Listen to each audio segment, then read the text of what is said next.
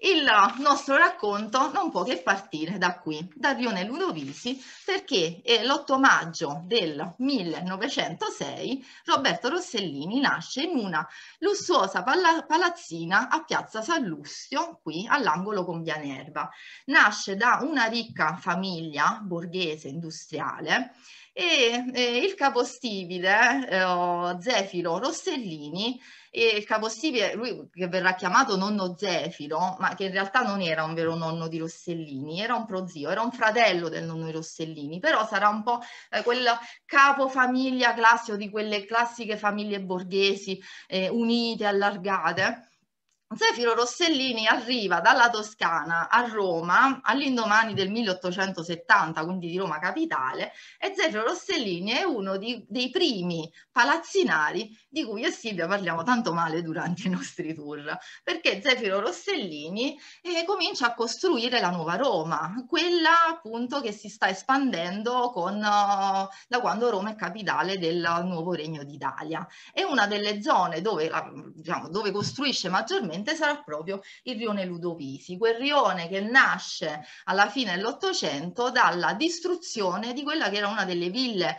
più belle, le ville nobiliari più belle di Roma, la villa Boncompagni Ludovisi, e che sorge. Aprì la via Regina Elena, oggi via Barberini, un'impresa così complessa, difficile e tormentata che finì per togliere tanto ottimismo al suo spirito giovanile ed entusiasta della vita. Eccola qua, questa è via Barberini. Eh? E quindi appunto segue le orme dello zio costruttore, eh, porta avanti l'attività la, e poi sposta, i Rossellini si spostano in un palazzo ancora più prestigioso qui a via Ludovisi 16. Questa è la facciata attuale di via Ludovisi 16 che, eh, dove oltretutto sarà importante perché diventerà anche un salotto intellettuale, perché eh, Angelo Maria Rossellini in realtà era più un, un, borghese più intellettuale che industriale, eh, perché sì, faceva il costruttore, però aveva doti artistiche, scriveva, componeva, diciamo, la sua personalità forte, anche appunto gioviale, prorompente, sarà anche molto influ influenzerà molto le carriere artistiche di Renzo, eh, che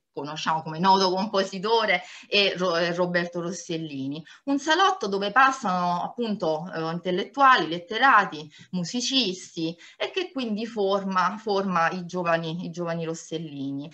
Quindi loro fanno parte di questa sorta di intelligenza borghese che oltretutto ehm, non si comprometterà mai con il fascismo, guarderà sempre il fascismo dall'alto in basso, eh, quanto tacciato come un fenomeno rozzo, di, di rozzi, di vili.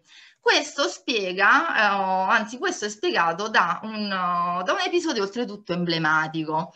Di fronte a Via Ludovisi 16 sorge l'Hotel Savoy. Questa è una foto scattata il 28 ottobre 1922, giorno della marcia su Roma. L'Hotel Savoy sarà il luogo dove alloggerà Benito Mussolini e anzi, dopo la marcia su Roma, lui si affaccerà dal balcone dell'Hotel Savoy eh, proclamando la formazione, annunciando la formazione del governo fascista.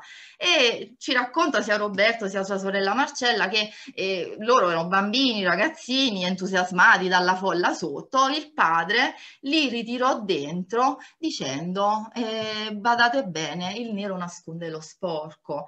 E se vi ricordate dalle parole di Renzo, tra le varie edifici che Angelo costruisce c'è anche il Cinema Corso, che sorgeva in piazza San Lorenzo in Lucina. Eccolo qua il Cinema Corso, una splendida opera di Marcello Piacentini, costruita tra il 1915 e il 1918 in stile secessione viennese. era molto particolare, anche molto avveniristica, con questa facciata non, non finita, i bow window, le vetrate colorate, la pensilina in vetro e ferro, ma anche negli interni, vedete questa eh, grande volta senza sostegno in cemento armato con la cupola che si apriva durante l'intervallo. Era così avveniristica che poi la commissione edilizia gli fece rifare la facciata a Piacentini a sue spese perché contrastava troppo con tutto il contesto dei palazzi storici intorno. Perché vi parlo questo cinema corso? Cinema corso e poi diventerà il cinema Etoile, forse qualcuno se lo ricorda perché è chiuso negli anni 90, dal 2011 l'edificio è la sede espositiva della casa di moda Louis Vuitton. Perché ve lo nomino? Perché essendo il costruttore di questo cinema, ehm, aveva, Angelo Rossellini aveva avuto per il figlio la tessera gratuita per andare al cinema. Sarà quindi, come dice lo stesso Rossellini, così è nato il mio interesse per le cose del cinema. E